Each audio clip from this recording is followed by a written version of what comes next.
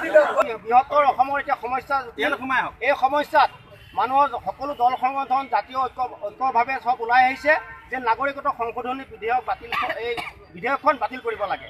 আৰু যদি এই এতিয়া এই পৰ্যন্ত চৰকাৰে কোনো স্পষ্ট স্থিতি প্ৰকাশ কৰা নাই যদিহে স্পষ্ট স্থিতি প্ৰকাশ নকৰে তেনেহ'লে ইয়াৰ পৰা আৰু বৃহত্তৰ জংগী আন্দোলন গঢ়ি তুলিবলৈ আমি বাধ্য হ'ম। নাগৰিকত্ব সংশোধনী বিল দুহেজাৰ ষোল্লৰ বিৰুদ্ধে আমি অসমৰ আমাৰ এই অঞ্চলৰ বিভিন্ন দল সংগঠন একত্ৰিত হৈছোঁ। আজি ইয়াতে আমি ভাৰতীয় জাতীয় কংগ্ৰেছ দল কৃষক মুক্তি সংগ্ৰাম সমিতি শ্ৰীমন্ত শংকৰদেৱ সংঘৰ কাকি আঞ্চলিক শাখাকে প্ৰমুখ কৰি বিভিন্ন দল সংগঠনৰ লোক আহি আমি আজি এই নাগৰিকত্ব সংশোধনী বিলৰ প্ৰতিবাদ কৰিব আহিছোঁ। আৰু যেতিয়ালৈকে এই বিলখন বাতিল নহয় তেতিয়ালৈকে আমাৰ সংগ্ৰাম অব্যাহত থাকিব।